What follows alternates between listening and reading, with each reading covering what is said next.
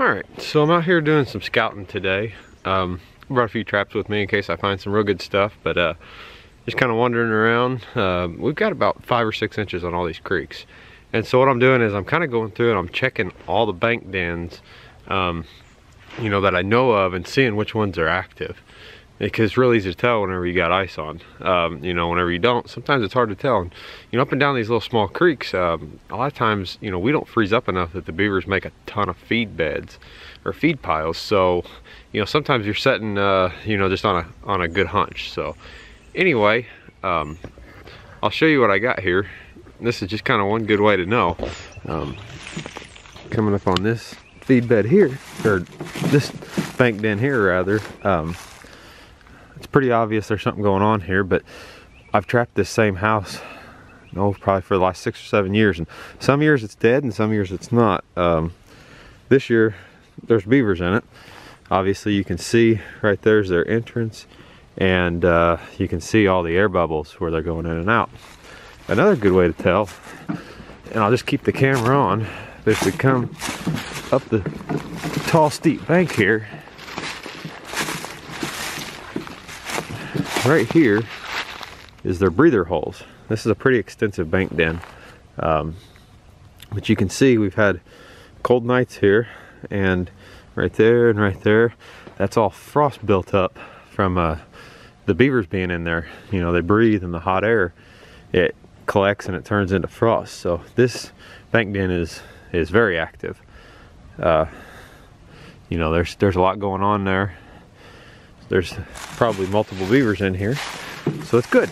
Uh, I've checked, there's several entrances to this bank den, but the water is so low that uh, really this one right here is the only one that's being used. There's about three or four entrances and this is the only one. So uh, we'll set this up and this is kind of one of them, you hear me talk about the 100% sets. These guys got more or less one way in and one way out and we're gonna stick a 330 in front of it. Right, so uh, one little quick tip, because especially this winter here, there's probably a lot of you guys out there that's gonna be able to uh, potentially trap beaver under the ice for the first time. Here's a little tip for you. Uh, right now, got, there's five, five and a half inches of ice that I'm chopping through. Personally, I like to use an axe rather than a spud bar. I just, more accurate and I can really go with it. But anyway, now we're gonna set a 330 in here we're gonna set it with the uh, the jaws top and bottom. But we need a pretty good size hole. But one tip here is you can see instead of just punching through right there like you'd think dig out the whole area together. That way whenever you do punch through you're not chopping into water. Because if you punch through right here water will fill up your little bowl area and then you're sitting there splashing water all over yourself whenever it's cold. So go together and then once you punch through then you just got to go down one side and then the other. And uh, good to go. All right, so here's the finished set. Um, I've got a stick going through the levers here, and then you can see right down below, I've got my stick uh, going through the jaws. I keep the trap from swiveling. But the most important thing right here is this stick here. Uh, this stick here is my toggle stick. I've got it wired off to the trap. Um, that way if beaver does take it, you can see you can't get this stick. I don't wire it to the end because you can maybe pull it down the hole if it doesn't freeze solid. But uh, you know you want a toggle stick of some sort.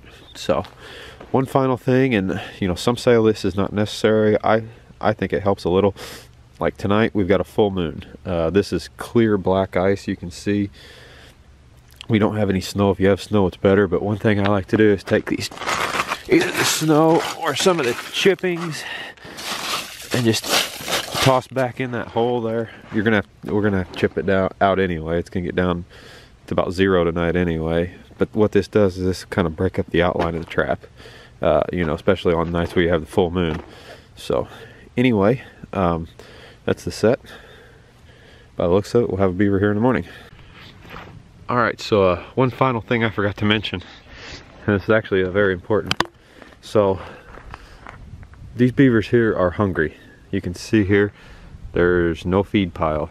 They are um, they're coming out of the ice somewhere. I'd, I'd, say there's a few open holes left, but these beavers are hungry. Do not use green sticks whenever you set this. If you use green sticks, uh, they're hungry anyway. The first thing they're gonna do is come out, they're gonna grab it and uh, booger up your set. Always use dead sticks for uh, setting all this stuff.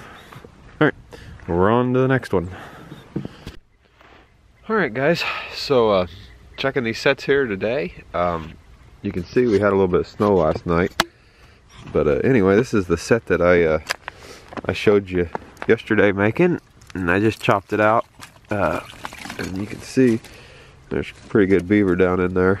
Um, so I'm gonna get the tripod set up and uh, I'll chop this guy out. I ain't gonna get him, be able to get him through the hole here. So uh, I'll chop him out and we'll see. Um, as I've said before, there's I got to be conscious about my beavers. So if it's a big one, uh, then I'm just gonna leave. I'm gonna pull the set. I'm not. I don't want to catch the little ones if they're in here. So we'll get this guy out, and it looks like it's a pretty good sized one. So uh, we'll see. So you can see we had a little snow last night. That's a good thing. Uh, chop this guy out.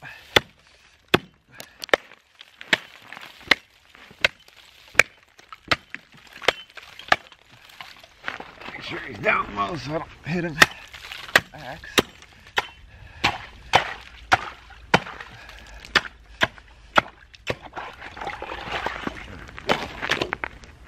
That should be good enough there.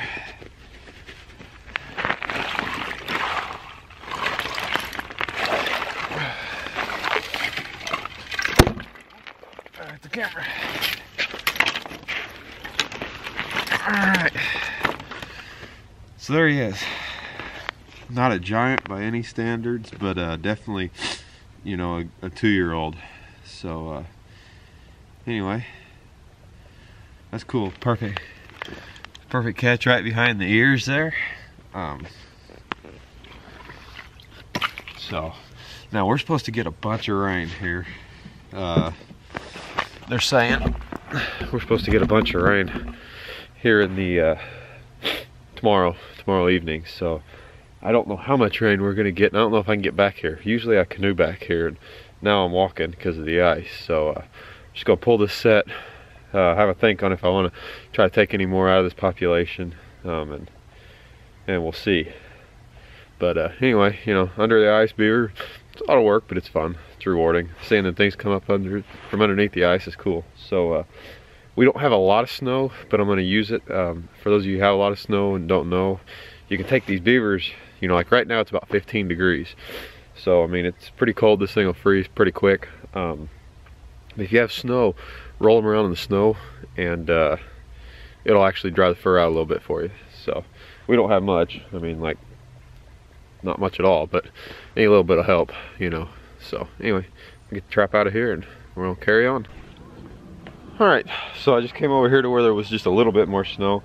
Uh, piled it up and you can see for no more snow than what we had, uh, it, rubbing that beaver in that snow, it really, really does a good job.